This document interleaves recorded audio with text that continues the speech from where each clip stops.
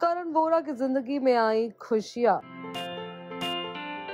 लेकिन चाहते थे बेबी गर्ल और हो गए हैं twin baby boys Imlie fame Karan Vora और उनकी वाइफ बेला वोरा आज ट्विन बॉयज़ के साथ ब्लेस्ड हुए हैं। वहीं अब इस पर करण वोरा ने अपना रिएक्शन दिया है और वो कहते हैं, मैं बहुत ज़्यादा खुश हूँ। मेरी पूरी फैमिली बहुत खुश है। लेकिन मैं चाहता था कि हमें बेबी डॉटर हो, लेकिन बावजूद इसके मैं खुश हूँ। करण कहते हैं, मैंने वीक ऑफ़ लिया है अपनी शूटिंग से और ये बहुत ही डबल ट्रबल होने वाला है। पर मेरी वाइफ और मेरे बच्चे के लिए मैं घर पर रहूँगा और जल्द रिटर्न आऊँगा। करण आगे कहते हैं, बेला और बच्चे दोनों ही हेल्दी और सेफ़ हैं, लेकिन बच्चे अभी भी इंक्यूबेटर पर है और ऑब्जर्वेशन मोड में है। पर बहुत जल्द हम उन्हें अपने गोद में उठा पाएँगे। मैं बहुत ज़्यादा एक्साइटेड हूँ इस चीज़ के लिए।